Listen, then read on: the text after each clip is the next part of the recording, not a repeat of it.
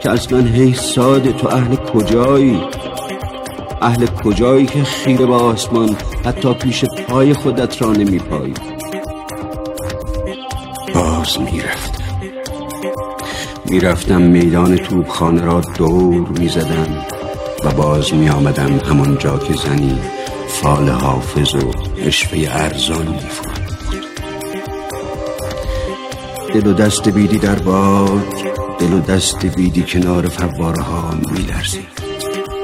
و من خودم بودم. شناسنامی کهنه و پیراهنی پر از بوی پونه و پروانه های بنفش. حالا هنوز گاه به گاه سراغ گنجه که می‌روم